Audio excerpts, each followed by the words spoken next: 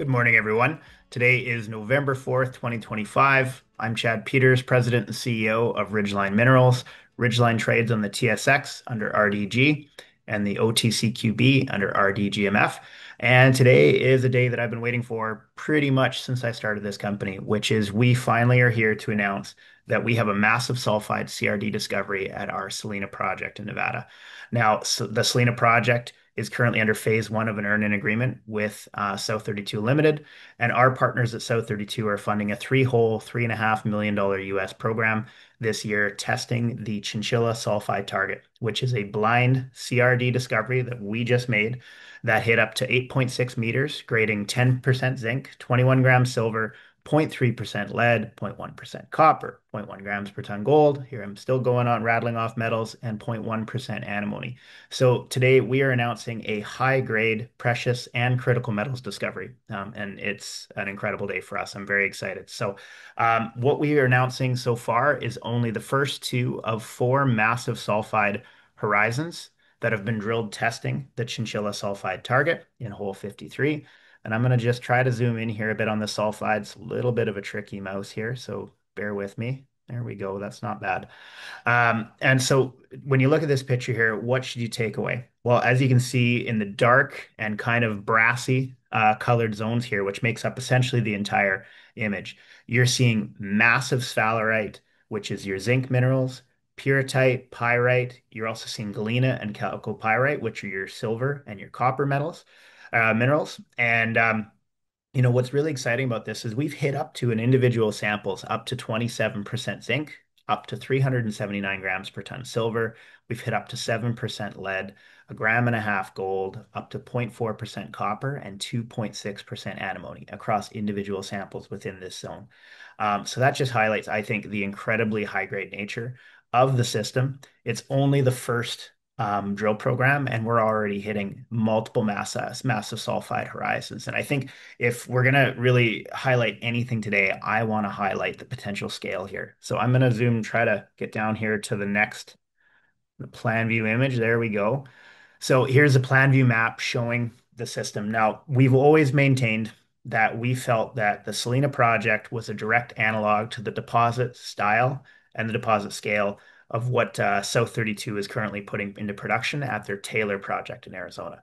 Now, that project is 150 million tons of about um, about 7% lead zinc combined, um, around 80 grams silver, and about 0.1%-0.2% copper. Now, really important to point out, obviously, I am not saying, I think legally, I am not saying that this, after only one drill hole, is the next Taylor deposit. But what I want to highlight is the scale, right? So this Chinchilla sulfide uh, uh, MT target, which is right here, just outlining right there, that is over two kilometers long, north to south along the BB Prime line, and over a kilometer and a half wide at its thickest. So this is a very large anomaly, and it only and it's blind, right? It's under shallow cover. We can't see the mineralization at surface. This is just a projection of that MT um, survey at depth. And in only the second hole, we're hitting multiple intercepts of high-grade massive sulfides. So I'm going to try to get down here into figure two.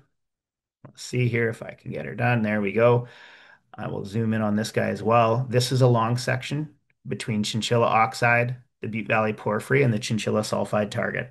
We have multiple massive sulfide horizons still pending. We've drilled right through the core of this anomaly, hit multiple intercepts all the way down up to, like I said, 1.1 meters of over 27% zinc, 60 grams silver, gram and a half gold, 0.7% lead, and 0.4% copper. So just an incredible metal budget, very high grade. We have much wider intercepts of up to 17 meters of 6% zinc.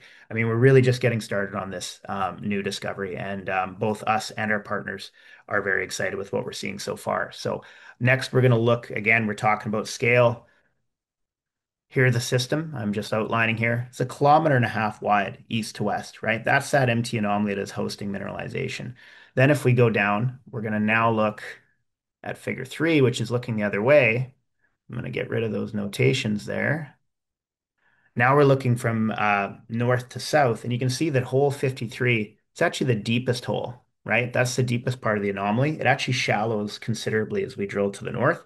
Hole 54 is going to be about a 700-meter step out to the north, right into the guts of the anomaly, slightly shallower than hole 53, same structural um, target, and um, we'll start drilling that uh, probably in about a week. We're actually just finishing up the bottom of hole 53 right now. So um, I'm going to keep this as brief as I can. I could talk about this all day. I'm going to wave my arms around, all that kind of stuff. Um, this is a huge day for Ridgeline and shareholders, right? We have a world-class geophysical anomaly that is now hitting massive sulfide intervals right where we said they were going to be, downtrend of an existing discovery we made over four years ago um, and just had trouble getting traction on in a, in a tough market. So this is a really big day for us. Um, I suggest that you reach out to me. My email and phone number are on the bottom of every press release.